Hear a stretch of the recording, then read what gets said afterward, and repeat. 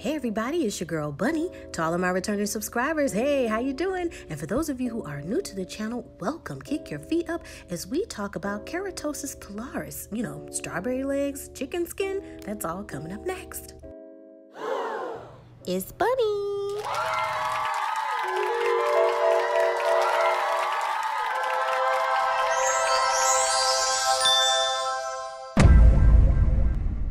Talk about transparent. Okay, here are my legs, all right, with the little dots. You know, have you ever looked at your legs? You shave and they're all smooth and everything, but you still have these little dots on your legs. And you're like, what is it? Then you just get used to it because you think it's just a part of life. Well, no, not really. There is treatment, all right? This is called keratosis pilaris. Say it with me. Keratosis pilaris. And it is caused by a buildup of keratin. Now, keratin is the protein building block of your hair and nails, but it's the protein that helps protect skin from infections and other harmful things. Now, when you get a buildup of this, this blocks the opening of the hair follicle. Now, doctors don't know what triggers the buildup, but it's different from person to person.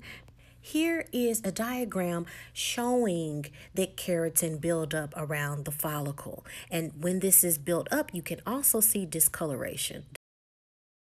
Now that we know what's going on, now that we know the medical terminology of what is happening, we want to talk about treatment. The most common treatment is, of course, we want to make sure that we're exfoliating the skin, and we'll talk about why that's so important. Removing the hair, which is, of course, optional, and then replenishing the moisture of these treatments. And then we're going to chemical treatments that will help remove dead skin cells as well. These are items that I have purchased along with items I already had at home for this 30 day challenge an exfoliant, my hair removal process of choice, and something more chemical based to help remove that buildup. Now, exfoliating is so very important, especially when we're talking about keratosis pilaris, because we are trying to remove the dead skin cells from the surface of our skin, removing that blockage from the hair follicle, getting rid of that dark or either pink or red, depending on your skin tone, that's causing that bump feeling. We want to get rid of that. Keep in mind that your skin naturally sheds dead skin cells to make room for new skin cells every 30 days or so. So, if we're not removing that, then we have buildup on top of buildup. As you see in this diagram, this is a microscopic representation of what we want, opening up that buildup and allowing the hair to come through. So this is my exfoliant of choice. You do not have to use this brand. This was just something that was available at my local grocery store. I originally wanted to make brown sugar, lemon juice, water, and honey um, so it could be as organic as possible. But this mix seemed to be very, very good. It had its natural oils and it smelled really, really good.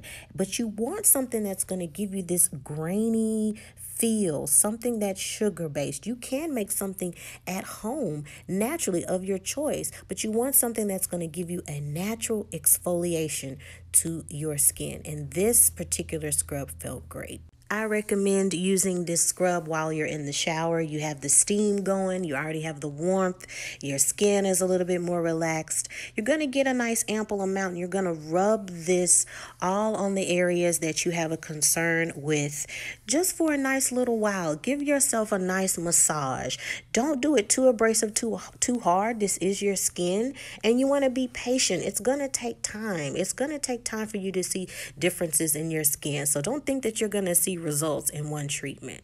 This is why it's a 30 day challenge because remember, your skin naturally sheds dead skin cells to make room for new cells every 30 days or so. So, if we're exfoliating, we're helping with this process and we're helping preventing blockage. Now that I've exfoliated, I choose to remove the hair. Make sure that you use a shaving gel because that will help with any friction of the blade. Also, it's recommended to use a shaver with three plus blades on the actual razor. This will prevent you from shaving over the same area more than once. You want one smooth swipe and make sure that you dab any excess water.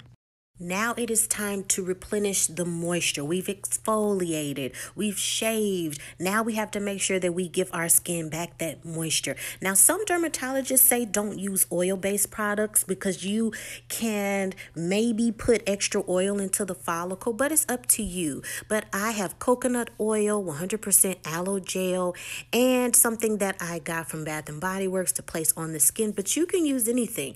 Just make sure that you moisturize that skin. Now, for those of you who want to take the chemical route, that's fine. You have science on your side. We have AHAs, the alpha hydroxy acids, and we have the BHAs, the beta hydroxy salicylic acids. Okay, these work both to unglue, quote unquote, these bonds holding these dead skin cells on the surface. Now, once these bonds are broken, then gently and evenly the skin naturally sheds these old skin cells. All right, so you want see these with your eyes. This is something that will be happen, happening microscopically, but it will help with the look of not only the pigmentation, but loosening up that clogged pore and you not feeling that bumpy feel that is on the skin.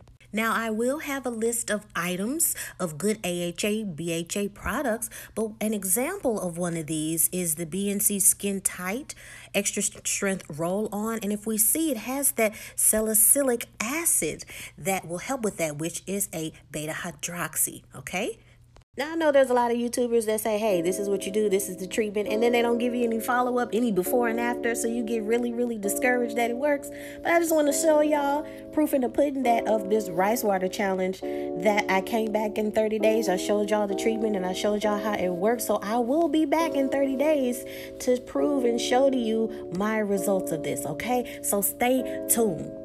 In the meantime, subscribe. And I don't know if you noticed, but I subscribe to whomever subscribes to me. Make sure that you have your settings correct, okay? So you can see who's subscribing to you. Hit that notification bell so you don't miss any post. And follow me on Instagram at the same profile name, official bun underscore E. Check out those playlists, those amazing movie and television show recaps and discussions. I'll see you in 30 days. Bye.